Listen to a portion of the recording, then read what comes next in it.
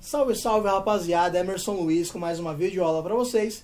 Bom pessoal, primeiramente eu gostaria de agradecer a atenção e o carinho de todos vocês que vem acompanhando o canal da i7 Telecom aqui no YouTube, a galera que vem deixando seus likes nos vídeos, o pessoal que vem se inscrevendo aqui no canal, o pessoal também que vem me adicionando no WhatsApp, exclusivamente para contratar serviços de consultoria e suporte para sua rede, o seu provedor, para sua empresa, você que precisa montar um pequeno provedor, e quer contratar uma consultoria para você poder tirar suas dúvidas referente ao que comprar, né?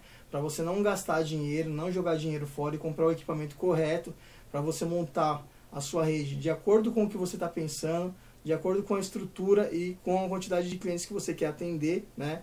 Então isso tudo depende de uma consultoria, né? Onde você precisa me passar as informações e eu consigo entender, eu tentar entender o que você quer para mim poder te passar o melhor é, equipamento que vai atender às suas necessidades. Né? Então, tem pessoas que querem montar uma estrutura X para atender, é, uma quantidade Y de clientes, aí os equipamentos têm que ser um equipamento. Se quiser atender uma quantidade X de cliente, pode ser outro equipamento. Né?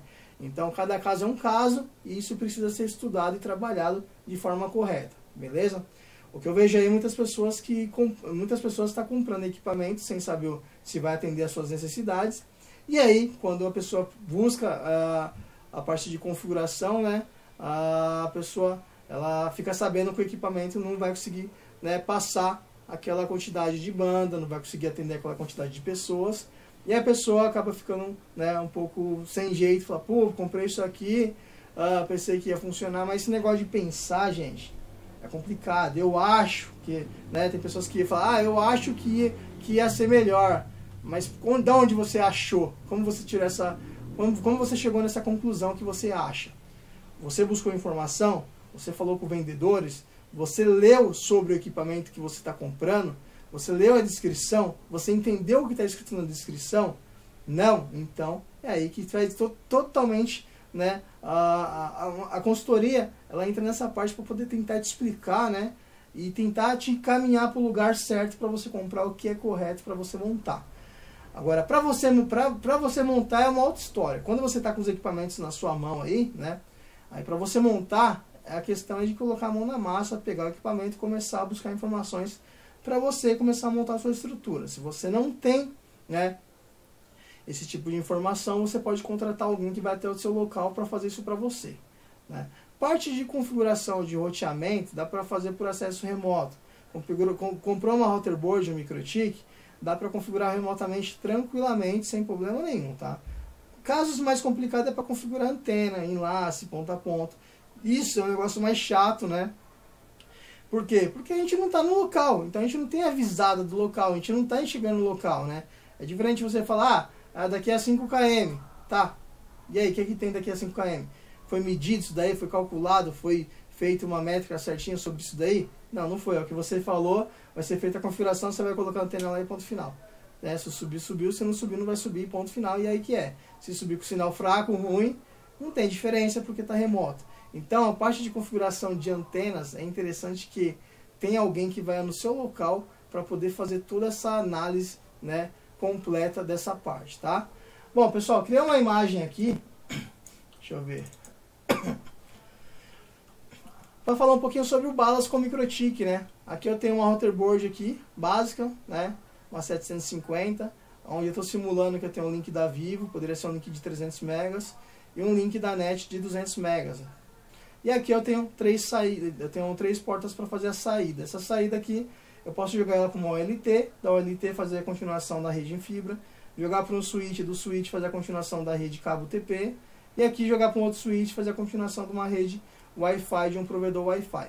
Quem controla a internet seria a Routerboard. Né? Nesse caso aqui, ó, tem duas opções.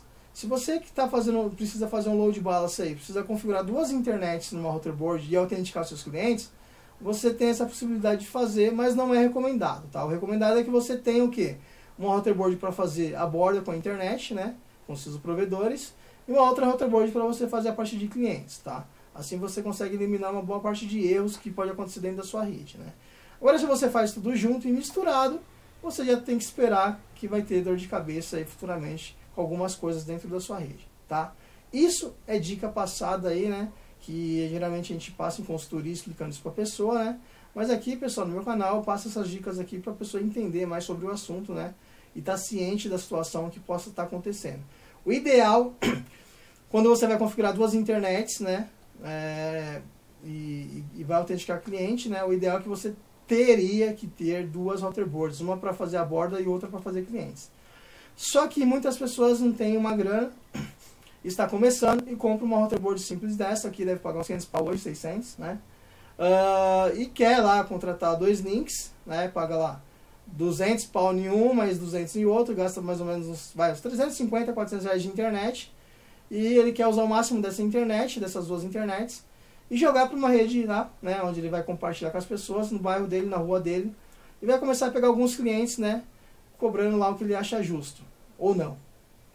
Aí, dessa forma ele começa né, a rede dele, entendeu? Uh, tem algumas pessoas que mandam mensagem para mim no WhatsApp falando, ah, meu, para mim o aula de balas não é uma solução viável. Eu falei, beleza, cada um tem uma opinião, cada um acha o que é bom para você, cada um acha que de, de, deveria achar o que é bom ou não para né, você, né?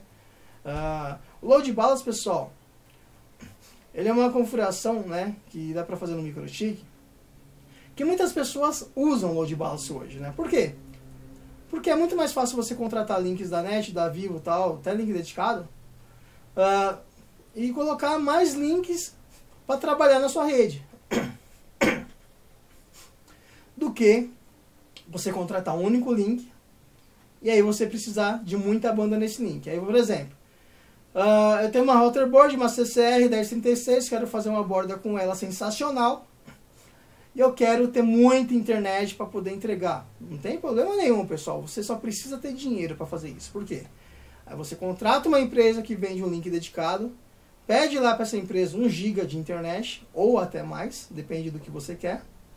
Se você contratar acima de 1 GB, né, 2 GB, 3 GB, 5 GB, 10 GB, o pessoal com certeza vai te montar essa estrutura dessa infra e vai te entregar né, a, a ponta né, do, dessa internet para você lá. Aí você se vira. Né? Agora, se você não tem condições de fazer isso, não adianta você querer fazer uma coisa que não consegue, que não pode. Né? É, tem pessoas que querem ter muita banda de internet, mas não querem gastar com isso. Acha que o pessoal vai liberar a banda de graça para eles. Assim, não, vou te contrata aí um giga de internet e paga o que você quiser. Pessoal, esquece, isso não existe. Né? Não existe isso daí. Se você quer contratar um giga, você precisa pagar por um giga, né? Imagine você, contratou, você quer um giga de internet para você vender internet. Mas daí vem lá algumas pessoas no seu bairro e falam assim, ó, oh, me dá internet aí, pô. Você tá pegando de graça, por que você não pode me dar também? Não, porque eu comprei roteador, comprei cabo, comprei estrutura, né? eu tenho pago energia, né? Não, mas daí, se você quer de graça a internet, você tem que passar de graça. Você entendeu? Não é, pessoal, não é assim que funciona o negócio, entendeu? O negócio é comércio. Se você quer uma internet boa para você ganhar dinheiro, você precisa comprar uma internet boa para você ganhar dinheiro. Quando você compra uma internet boa para você ganhar dinheiro, você vai precisar comprar equipamentos que trabalhem bem com essa internet, vai, vai precisar montar uma estrutura boa para poder entregar essa internet para as pessoas que vão te pagar pelo serviço de internet. Então, se você perceber, é um passando para o outro, entendeu? É um que passa para o outro. Você monta, contrata monta a estrutura e vende para as pessoas que precisam, né? Você vai dividir lá é, essa internet de acordo com a necessidade e vai vender os planos que você quer, né? É simples, objetivo e fácil de entender. Não precisa ser um expert em TI, um expert em e-commerce, né? E-commerce, um expert em, em comércio, né? Um expert em qualquer outra coisa, né? Para você fazer isso. Não precisa ser um expert. Você só precisa entender a lógica e a matemática da coisa, né? Então, uh, outra coisa, o microtique, pessoal, ele não faz café não, tá? Ele não faz café com leite, ele não faz pão na chapa, ele não faz ovo mexido, entendeu? O microtique é um roteador. Então, como qualquer outro equipamento, ele tem limitações, né? Então você pode fazer X, né, conforme a limitação do hardware que você tem. Uh, outra coisa também é que não adianta você querer comprar uma RB 750 que você paga 600 reais e colocar 300 pessoas dentro do equipamento desse com 1 GB de internet. Não tem cabimento, não vai, não vai funcionar, não vai assim, não vai acontecer. aí você precisa ter equipamento mais robusto. Qual é a diferença de uma Routerboard 750 para uma CCR? Qualquer uma. A pessoa, ah, não sei, é, é, as portas. Não, não é, é hardware, pessoal. Quando você compra equipamento, só você entender. O mesmo sistema que tem numa 750 tem numa, numa CCR? Tem, é o mesmo sistema. A diferença é que uma CCR tem muito mais hardware, processamento, memória, tudo mais, né? Que você paga mais por isso para você ter mais recursos, ou seja, para você ter um equipamento que suporta mais quantidades de conexão, de troubleshoot, de um monte de coisa, de, de passa tráfego de internet, entendeu? Então, a diferença é essa. Isso é uma coisa muito simples de você entender também. Basta você pegar, uh, abrir aqui, né? Uh, as, as especificações, descrição do equipamento 1 e 2. Aí você pode acessar, acessa o site da microtik.com, gente. Tá lá, tem a parte de hardware lá. Vai lá, você vai ver vários equipamentos Microtik, entendeu? Nem eu sei o que tem lá, tem muita coisa lá. Não vou ficar aqui, pô, lendo tudo que tá lá. Não tem nem cabimento eu fazer isso também, entendeu? Né? Uh, mas assim, a pessoa que acha que o Microtik é, ele faz mágica, ele não faz mágica, tá pessoal? Ele é um roteador, né? Uh, recebi uma, uma mensagem, o pessoal falando assim, ah, eu quero fazer um load balance, mas eu tenho um switch aqui. Meu, switch é camada 2, switch não faz load balance. Quem faz load balance é camada 3, é roteador, tá? Então o MikroTik tem a opção de fazer load balance porque a gente configura ele de acordo com a nossa necessidade. Se você comprar um roteador de qualquer outra marca aí pronto, você não vai fazer isso se você não comprar um roteador que é load balance, entendeu? Então você, você configura de acordo com a sua necessidade, né? Por exemplo, uma routerboard dessa poderia configurar só um link de internet numa porta configurar quatro portas de saída para a rede. Mesma coisa que o roteador faz. Entra um link, entra o um link de internet e sai em quatro portas de rede aqui, né? Via cabo de rede. Mesma coisa que qualquer roteador faz, pessoal. Ah, mas agora eu quero configurar duas portas com internet e sair três. Beleza, MikroTik já faz isso. Quero configurar quatro portas de internet e sair uma para um switch. Show de bola, MikroTik faz isso. Quero configurar cinco portas de internet. Não, não faz isso. Esse aqui não faz porque você tem cinco portas. Como que você vai fazer a saída? Não tem como, né? né? Claro, objetivo e direto. Não tem como. Lógica, né? Se eu tenho aqui cinco portas, eu tenho que definir de acordo com a minha necessidade, minha necessidade o que, eu quero fazer. Então, se eu quero entrar até quatro links numa routerboard dessa, eu consigo. E tem uma única saída. Tá? Essa aqui é uma routerboard 750 GR, GR3 ah, tem as portas gigalã, então a saída dela vai sair gigalã. Mas não adianta você ter a porta gigalã e colocar um cabo barra, um 10 barra 100 aqui. É outro caso que eu pego muito, muito, muito, muito. As pessoas não se atentam a cabo, né, que conecta no equipamento. A pessoa pega aqueles cabos podre, velho que está jogado lá, conecta aí e acho que vai estar tá tudo certo. Não é assim, tá? Outra coisa que não é assim que funciona. Você precisa meu, desde o cabo, desde a energia, desde a tomadinha ali, entendeu? Tá tudo 100%, pessoal. Não adianta pegar cabo de rede podre, velho aí, né? Ah, tem pessoa que não sabe nem fazer cabo de rede. Tem um monte de vídeo aula no YouTube ensinando a fazer cabo de rede. Ah, fiz aqui, acho que tá bom. Não é que se acha que tá bom, tem que tá bom, tá? Esse negócio de acho aí, pessoal, descarta esse negócio de acho, eu pensava. Esquece isso daí, isso é conversa aí que não cola, tá? Então, para você fazer uma coisa dessa, você tem que ter certeza das coisas, beleza? Não vem com esse negócio de achismo não, que achismo não existe, hein? Bom, pessoal, aqui é uma estrutura, né? né igual eu estou mostrando para vocês. Entrando dois links e saindo para uma rede aí, né? De acordo com a sua necessidade, beleza?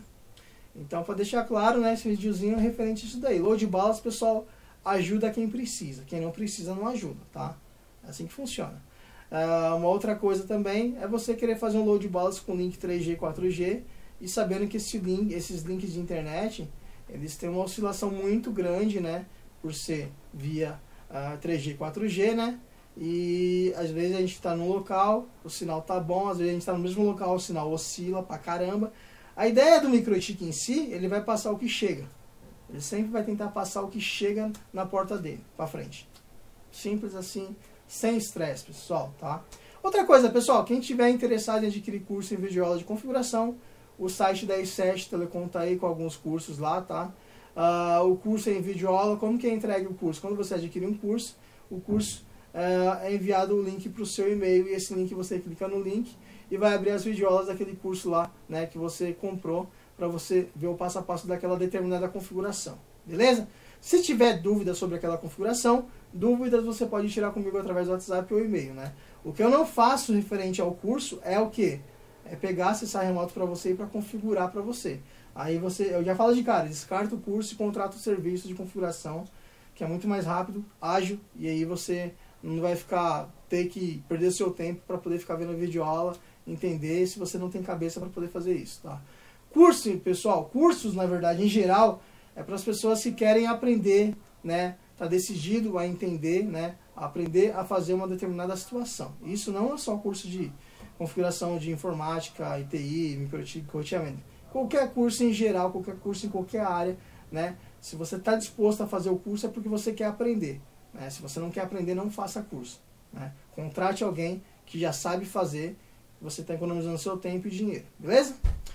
Bom, galera, é isso aí. Espero que tenham gostado do vídeo. Se você gostou, deixa um like no vídeo e até o próximo vídeo. Valeu, fui!